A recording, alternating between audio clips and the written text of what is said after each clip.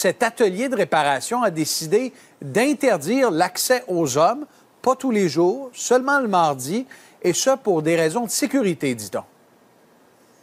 Oui, exactement. Ça se passe juste, ici à, à l'UCAM. L'atelier vélo est juste là. Et vous l'avez dit, hein, c'est un endroit pour faire des réparations. C'est ouvert euh, à tous. On explique là, cette décision pour créer un endroit sécuritaire pour les femmes, les trans, les personnes non binaires, bispirituelles et intersexes. On veut empêcher la m'explication, c'est-à-dire une situation où un homme se croit en devoir d'expliquer à une femme un concept qu'elle connaît déjà sur un ton condescendant ou paternaliste et cette décision le dérange des étudiants.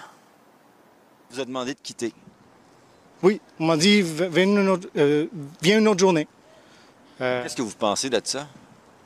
Mais je, je leur ai dit que j'ai trouvé ça absurde.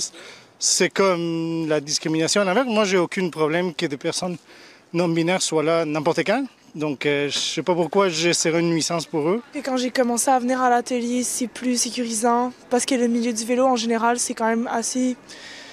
Euh, pour beaucoup, c'est intimidant quand on n'est pas habitué, puis c'est très masculin en général comme milieu. Moi, ça me fâche parce que je trouve que exclure un groupe de personnes, ça ouvre pas la porte justement à inclure tout le monde. Euh, mettons, eux, ils veulent, mettons, que les gens soient plus ouverts envers les autres, mais euh, réduire euh, les autres personnes, je pense que ça ne va pas dans le même sens qu'eux.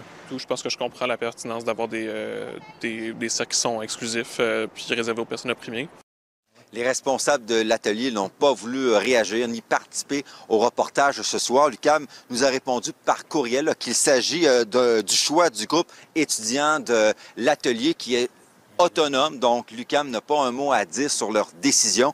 Et en terminant, j'ai parlé aussi aux gens de la Commission des droits de la personne aujourd'hui qui invite tous ceux et celles qui euh, croient être victimes de discrimination de porter plainte.